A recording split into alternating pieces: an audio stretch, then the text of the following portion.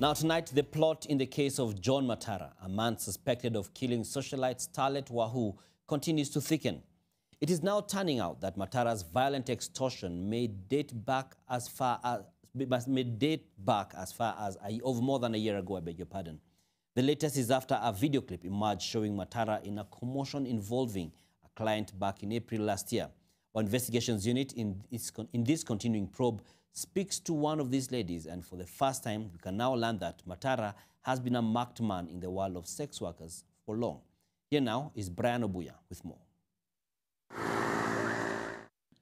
Just like many of her friends in her trade, she has also been afraid to speak because of the nature of their job. But today, Maureen speaks to us about the unraveling syndicate of John Matara, now set to face a murder trial. I encountered him last year in April. A friend of mine had notified me that she was going to have a male visitor that she met on a dating site at her place. And then when he came around, he was nice at first to her. I even visited my friend uh, just to check up on her because we were neighbors. Then all of a sudden, after a few minutes or less say an hour, I had some cry of help from my friend's house. And that's when we, we, were, we were trying to enter the house and it was locked from the inside. And it seemed like she couldn't get to the door. Maureen is talking about this day, sometime in April 2023. ati anasema ati service. Matara is spotted here in blue moments after engaging a service provider. It had to take border border operators to settle the issue. At the time, she says, Matara was found in possession of a rope and a tape, a similar one that was in the case of this lady and also the deceased starlet Wahoo. one finger was put here. He has long fingernails, ingine hivi. So even right now, I don't, I don't take like solid solid chapati nini nini. I, take vitu soft ndo ziteremke cause hii kitu inakaa iko fractured way. we. Alifinya kabisa and then akagua haraka. You know.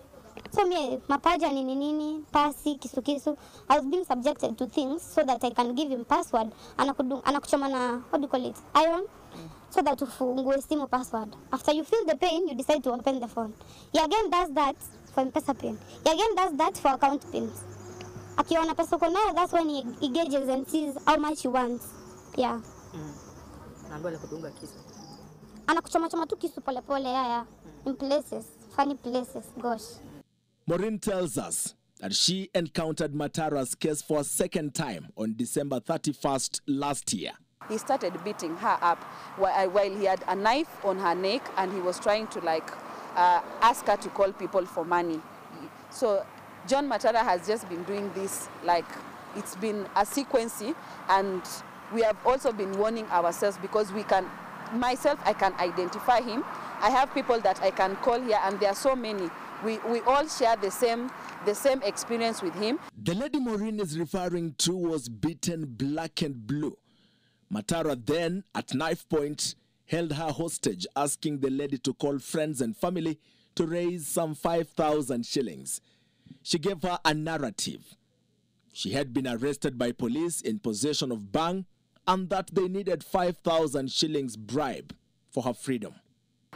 So unapata the more a victim holds back and anasikia ana, anaweza anaweza kuwa judge ama aibike about the whole incident being known to people.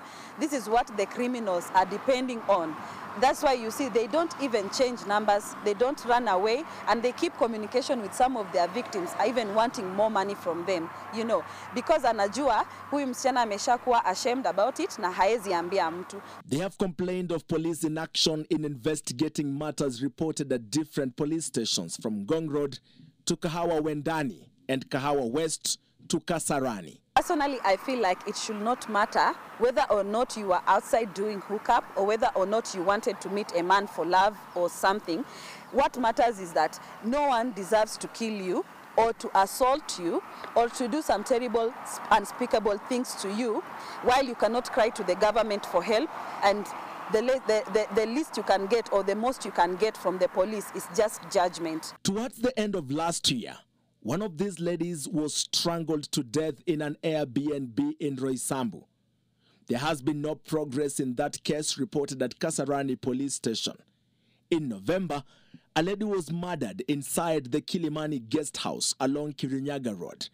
The suspect walked out of the guest house walked through the full glare of several CCTV cameras. Yet, police at Central Police Station are yet to make any progress on who killed Chebet. So what I can ask the police is that they should put more efforts to even investigate the slightest detail or the slightest report that does not look like it is serious just to avoid more people falling victims and probably picking up dead bodies on different locations around Kenya.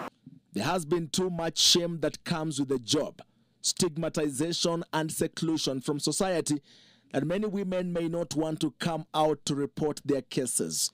While many struggle with it, Starlet Wahu was one of the high-end escorts who made their money this way.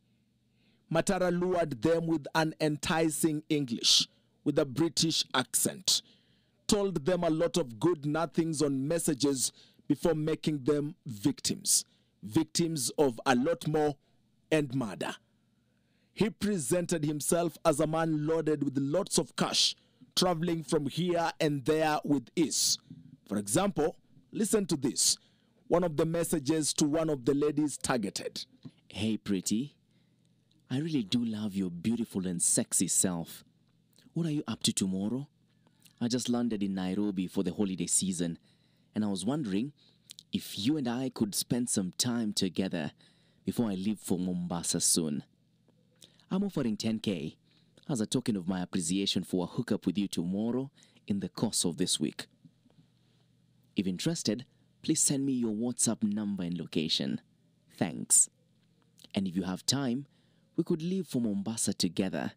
Diani per se, Christmas is here, baby. Police will continue detaining Matara for further 17 days as investigations pick pace. More women are flocking the industrial area police station to report their ordeals.